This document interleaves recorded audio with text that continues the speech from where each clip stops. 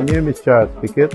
Well, I come here to the Coca-Cola spectacle and I thank the government and thank the company for doing this because um, I used to get help from NIS and um, I didn't go in because I hated the company coming. I feel proud about it and I got to thank, thank the company and the ministry and thank the government for doing so.